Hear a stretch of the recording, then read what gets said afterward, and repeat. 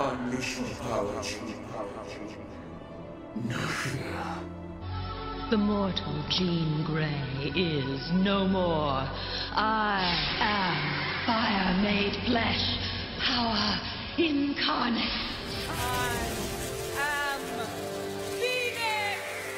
Analyzing the superhero costumes of Jean Grey, as mentioned in the previous costume analysis. Costuming is often overlooked as unimportant to storytelling. This is a shame, considering the amount of effort that goes into creating some of the most beloved fictional characters' designs. Jean Grey Summers, originally codenamed Marvel Girl, is not only one of the five first class X Men, but she has one of the most interesting journeys out of any X Man's history created during a time when it wasn't uncommon for the female characters in the cast to be relegated to the damsel in distress. Jean Grey eventually broke this stereotype by not only being classed as an Omega level mutant, but by becoming a harbinger of the Phoenix Force, one of the most powerful beings in the Marvel Universe. So, despite this commenter who seems confused as to why the analysis of character design is significant, in this video, we will be analyzing three costumes Jean Grey has donned that I adore, and three costumes Jean Grey has donned that I abhor. During my research into Jean Grey's costume history,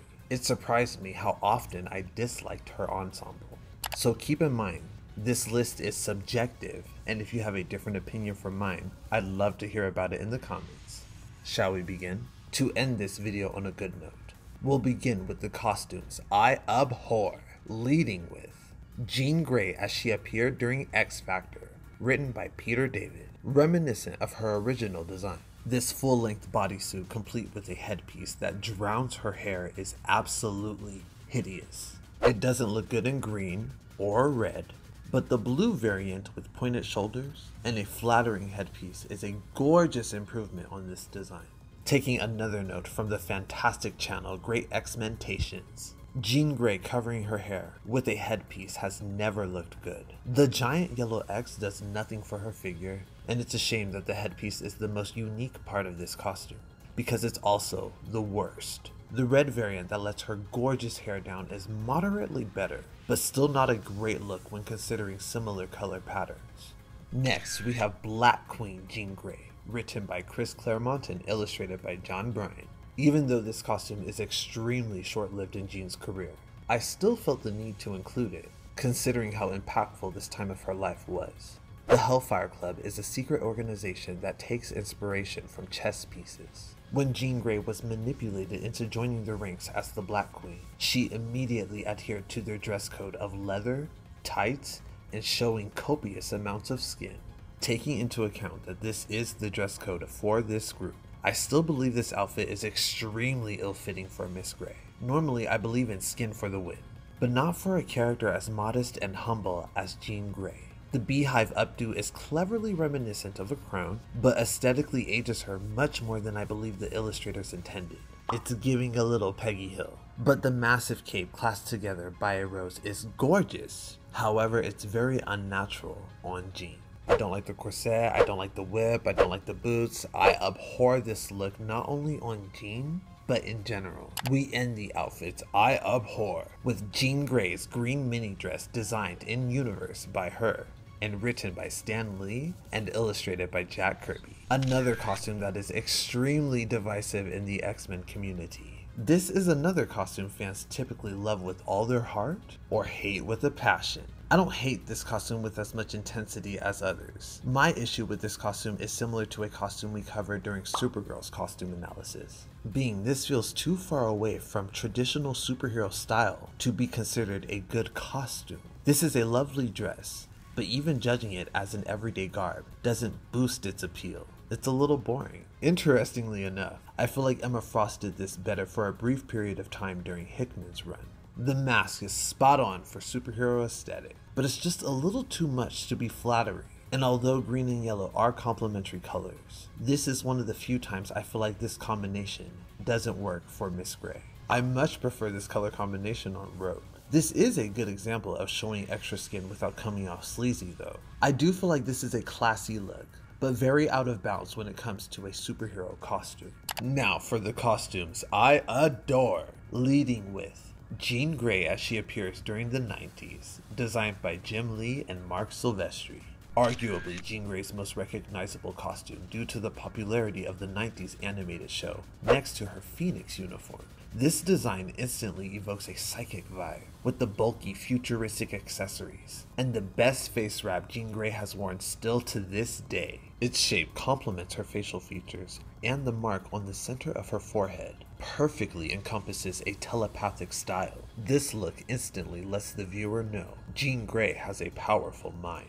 The soft orange and bold blue work surprisingly well together, especially with her hair, which is usually up in a ponytail during the animated series. But I much prefer Jean's hair when it's big, bombastic, and in your face, like the comics. I'm typically not a fan of big, oversized shoulders, but I couldn't imagine this look on Jean without them. I simply adore the way the blue traces down her shoulders and leads directly between her legs, giving a subtle, sensual edge. This costume is truly forever iconic.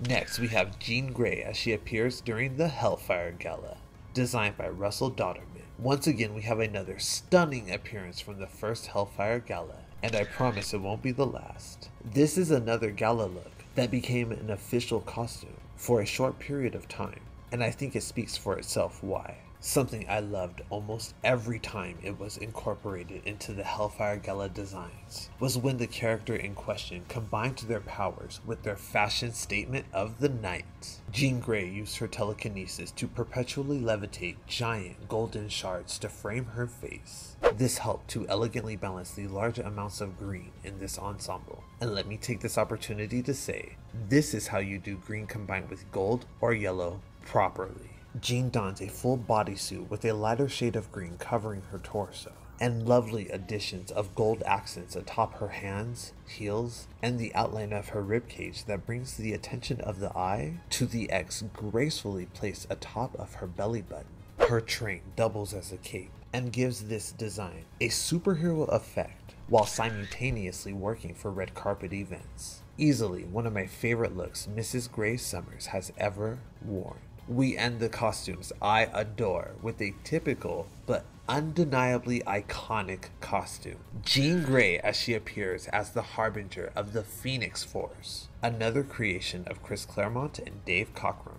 Jean Grey wore this costume during her most influential period still to this day. The Phoenix Saga forever changed the X-Men and the Marvel Universe, and this costume has had a lasting impact on Jean's career. It's a simple look, a full bodysuit with golden shoulder length gloves, and matching thigh high boots with the phoenix symbol on the center of her chest. This look and all its variations leave a lasting impression from green to white and especially red.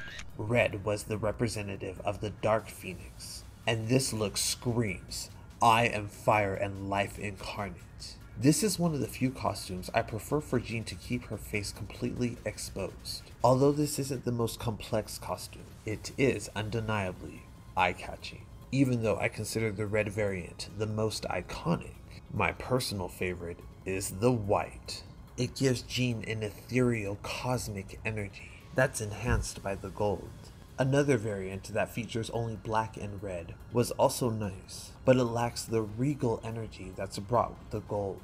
One of my favorite altered versions of this costume is Revolution Jean that adds a bit of texture and shows a little skin. To make such a simple costume memorable is quite an impressive feat, and may play a large part into why this costume is a classic. Thank you for watching this short costume analysis voted by you in the poll for Jean Grey. I hope you enjoyed. Uh, if you want to help me in a non-monetary way, you can follow me on my socials. They'll be on the screen and linked in the description box down below. You can also like the video, comment anything below, share it, and especially subscribe. These things help me tremendously. If you want to go an extra step further, you can subscribe to my Patreon. And I just want to take a second to thank my wonder patrons, Kirsten Letts, Jerry Jenkins, Clever B, and Mortonette Stevens. You are the greatest supporters in the world. Thank you so much. If you would like to be a patron for as little as a dollar a month and get your name in the credit roll, you'll find the link in the description box down below. And I appreciate any and all support. So thanks in advance if you check it out. You get videos early over there. I'm going to start posting these fashion analysis early over there and probably with extra footage and do votes over there and stuff. I'm going to be doing stuff to make my Patreon a lot more active since I've been becoming more active on YouTube. On TikTok, I host watch parties on the weekends. We watch anime, movies, uh, anything, suggestions. We have a lot of fun over there. It's just nice being in the chat and reminiscing or watching current things.